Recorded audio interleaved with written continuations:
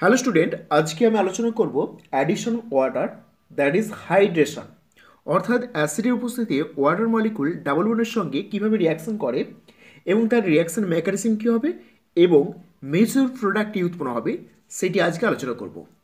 তো আজকে বোঝার জন্য প্রোপিনের সঙ্গে dilute sulphuric acid water reaction করলে মেজর প্রোডাক্ট হিসেবে কী প্রোডাক্ট পাওয়া যাবে এবং রিয়াকশন মেকানিজম কী উৎপন্ন হবে, সেটি আজকে আলোচনা করব। দেখো, এখানে প্রোপিনের সঙ্গে ডাইলুট সালফ্রিক অ্যাসিড এবং ওয়াটার দিয়ে রিয়াকশন করতে হবে। তাহলে প্রথমত কী রিয়াকশন করবে? অর্থাৎ রিয়াকশনের মেকানিজম কী হবে? CH three bond C H double bond CH two এটার সঙ্গে ডাইলুট সালফ্রিক অ্যাসিড দেওয়া হয়েছে। তো ডাইলুট সালফ্রিক অ্যাসিড থেকে আমরা এইচ প্লাস পাবো। এইচ প্লাস পাবো। এবং এই এইচ প্লাস ডাবল বন্ড তারা আক্রমণ করবে। আক্রমণ করলে এখানে দুই ধরনের কার্বোকার্বন উৎপন্ন হতে পারে। একটা ওয়ান ডিগ্রি কার্বোকার্বন আর একটা টু ডিগ্রি কার্বোকার্বন তাহলে কীভাবে উৎপন্ন হবে? প্রথমেই দেখো, এখান থেকে আমরা দুই প্রকার কার্বোকার্বন উৎপন্ন হতে পারে।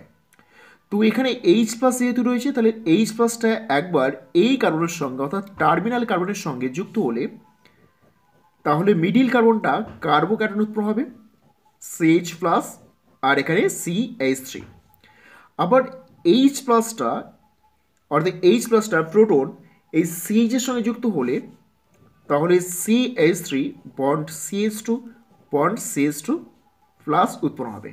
অর্থাৎ এখানে দুই প্রকারের কার্বোকার্বন উৎপন্ন হয়েছে।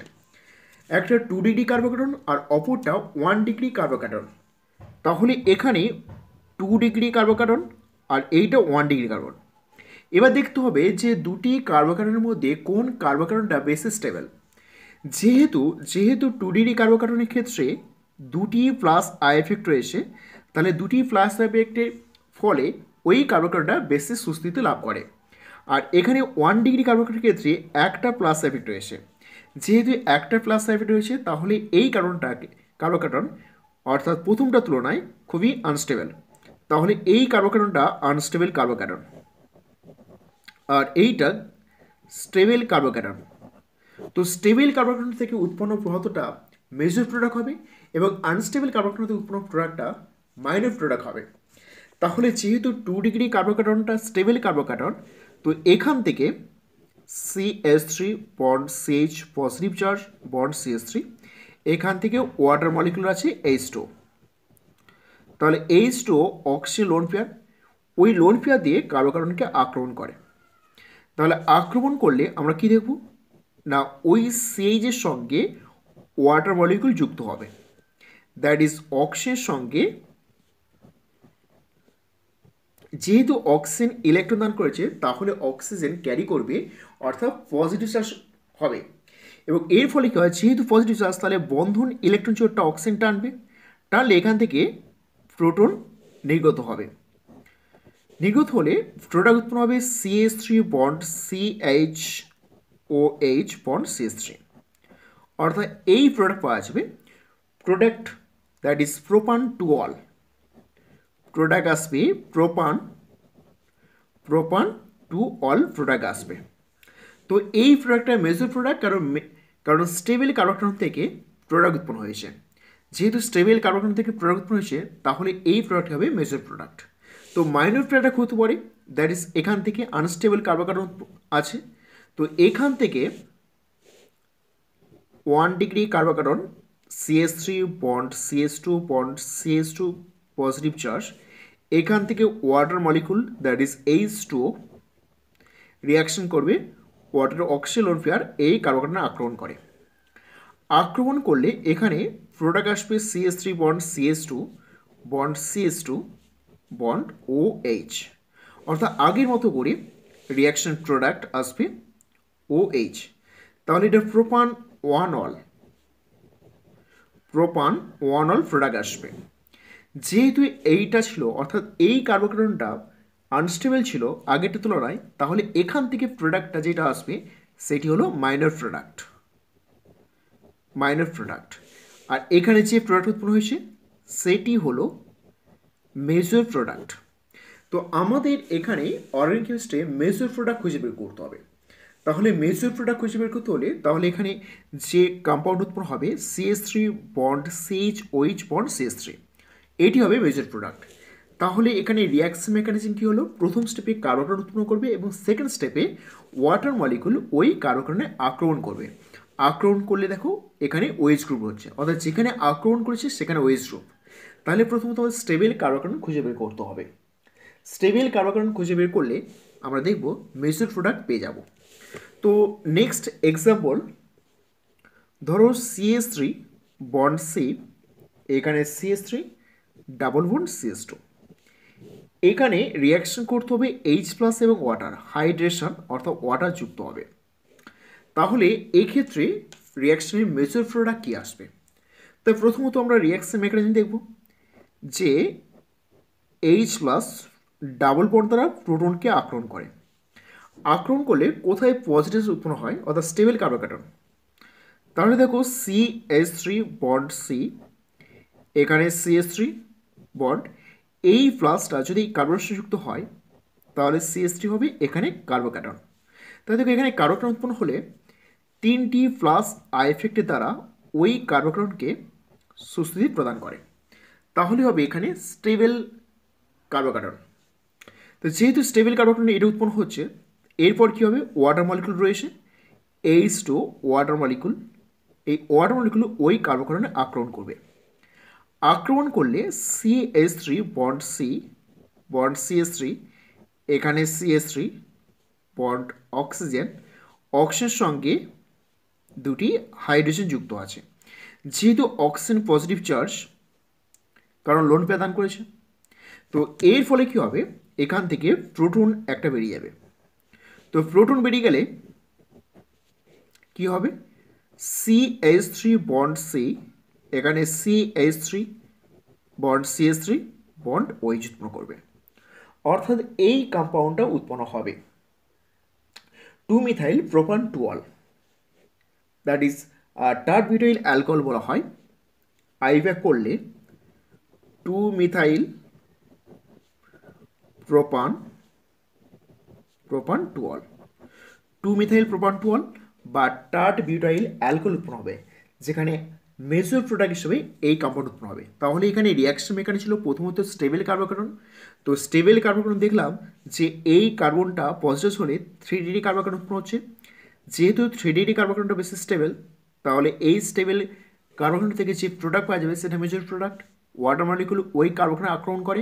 আক্রমণ করার পর এই প্রোডাক্ট উৎপন্ন হয়, অর্থাৎ টু মিথাইল প্রোপান টুয়াল এখানে এটি মেজর প্রোডাক্ট তারপরে next example three phenyl but one ene তো থ্রি ফিনাইল বিউট ওয়ান এনের সঙ্গে রিয়াকশন করতে হবে এইচ প্লাস অ্যান্ড ওয়াটার তাহলে এখানে কি প্রোডাক্ট আসবে? তো এখানে সিএইচ রয়েছে বন্ড সি এইচ থ্রি এর সঙ্গে CH double bond CH two এটার সঙ্গে আমরা রিয়াকশন করব এইচ প্লাস অ্যান্ড ওয়াটার তো এইচ প্লাস এবং ওয়াটার যদি রিয়াকশন করা হয়, তাহলে রিয়াকশানে প্রোডাক্ট কী উৎপন্ন হবে? তো আমরা রিয়াকশন মেকানিজম করব। রিয়াকশন মেকানিজম করে বুঝব যে এখানে স্টেবল কার্বোকার্বন কোথায় উৎপন্ন হবে এবং সেখানে ওয়াটার মলিকুল অ্যাটাক করবে।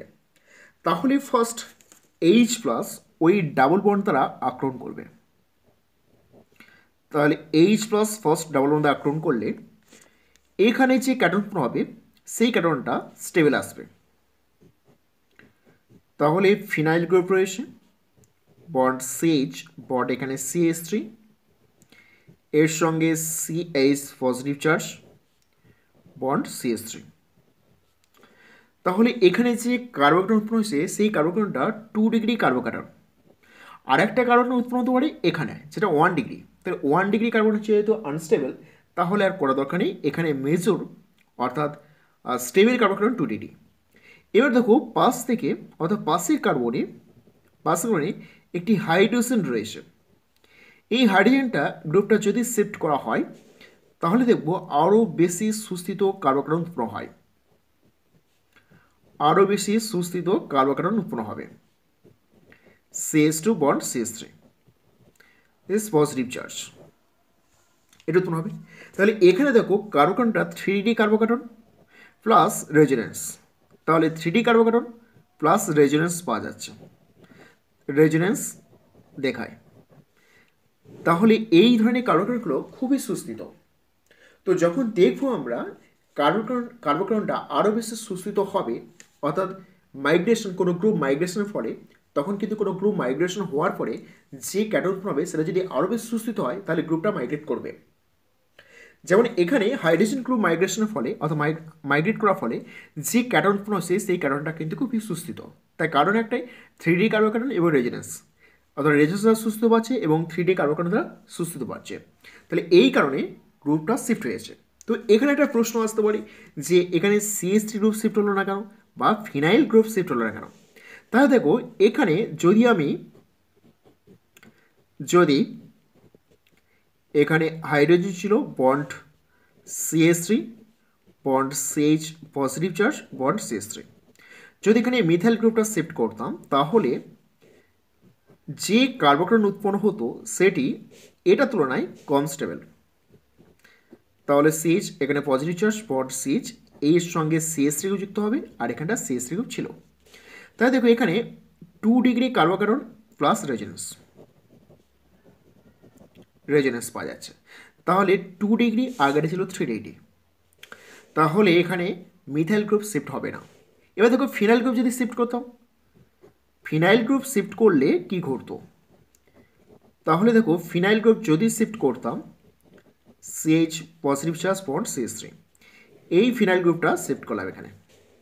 করলে এখানে H bond C positive charge bond CS three bond CH এর সঙ্গে ফিনাইল গ্রুপ যুক্ত হতো that is C six H five bond CS three তাহলে দেখো এই কার্বনটা শুধুমাত্র টু ডিগ্রি কার্বোকার্বন শুধুমাত্র টু ডিগ্রি এখানে রেজোনেন্স এফেক্ট নেই।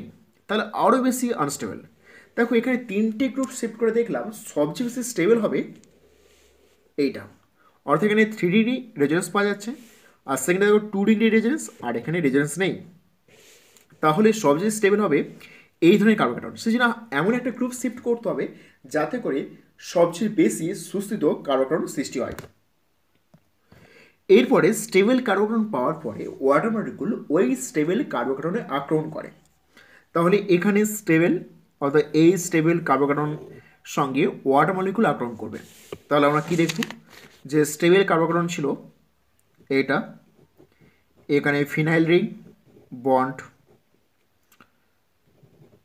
বন্ড, এখানে CH three this positive charge bond CH two bond CH three এটার সঙ্গে water H two water molecule আক্রমণ করলে কি ঘটবে? অক্সিলোনফিয়ার এই কার্বনে অ্যাটাক করে।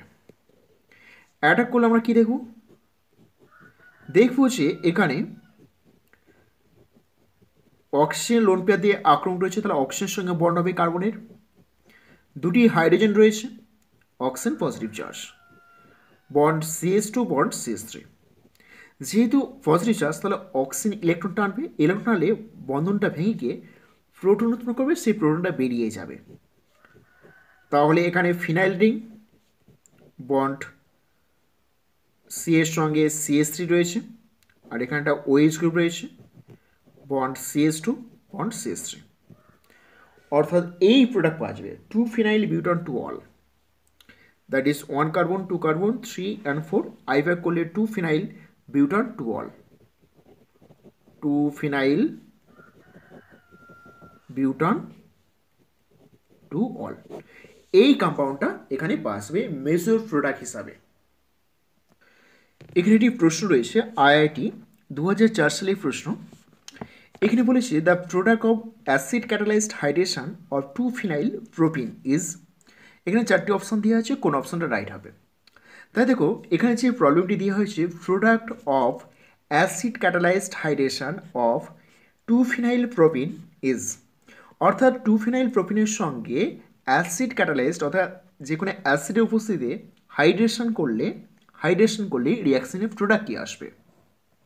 তাহলে কম্পাউন্ড নিতে হবে টু ফিনাইল প্রোপিন তাহলে দেখো two phenyl propene propene meth, eth prop two phenyl আছে, তাহলে এখানে phenyl group that is C six H five এবং প্রোপিন বলেছে that is double bond CS two bond CS three এটার সঙ্গে এইচ প্লাস ওয়াটার রিয়াকশন করলে এখানে রিয়াকশনের major product কী উৎপন্ন হবে? এটি ছিল প্রশ্ন। তাহলে আমরা প্রথমত আমরা এইচ প্লাস দ্বারা রিয়াকশন করব। তো এইচ প্লাস ডাবলনের সঙ্গে রিয়াকশন করবি করে স্টেবল ক্যাটন এখানটা উৎপন্ন হবে। এই কার্বনটা স্টেবল ক্যাটন স্টেবল ক্যাটন উৎপন্ন হবে। তো তাহলে C H three point C এখানে পজিটিভ চার্জ এখানে ফিনাইল গ্রুপ রয়েছে। এই phenyl group bond CS three দেখো, এখানে যে পজিটিভ উৎপন্ন হয়েছে, সেই পজিটিভ চার্জটা অর্থাৎ carbocation three D carbocation plus বেঞ্জিনের pi electron দ্বারা রেজোনেন্স করবে। প্লাস রেজোনেন্স এফেক্ট রয়েছে। রেজোনেন্স এফেক্ট রয়েছে। তাহলে থ্রি ডি কার্বোকার্বন এবং রেজোনেন্স এফেক্টের জন্য এই কার্বোকার্বনটা বেশি সুস্থিত। তাই সুস্থ থেকে মেজর প্রোডাক্ট পাওয়া যাবে। তো এরপর ওয়াটার মলিকুল আছে এইচ টু তো ওয়াটার মলিকুল এই কার্বোকার্বনে আক্রমণ করে। আক্রমণ করলে এখানে প্রোডাক্ট কি আসবে? C H three bond C এখানে ফিনাইল গ্রুপ রয়েছে আর এখানে বন্ড সিএস থ্রি এটার সঙ্গে অক্সিজেনের সঙ্গে দুটি হাইড্রোজেন যুক্ত। তো অক্সিজেন পজিটিভ চার্জ তো এখানে বন্ধন ইলেকট্রন চোরকে অক্সিজেন টানবে কারণ অক্সিজেন পজিটিভ চার্জ এর ফলে ওই বনটা ভাঙবে অক্সিজেনের সঙ্গে হাইড্রোজেন বনটা ভাঙবে। ভাঙলে এইচ প্লাস হবে এবং রিয়াকশনের প্রোডাক্ট পাওয়া যাবে এখানে C H three bond carbon কার্বনের সঙ্গে phenyl group bond C H three এর সঙ্গে ওইচ গ্রুপ তাহলে এটি হবে এখানে মেজর প্রোডাক্ট অর্থাৎ এই মেজর প্রোডাক্টে আইপ্যাক নাম রবে one carbon two carbon three carbon that is two phenyl two phenyl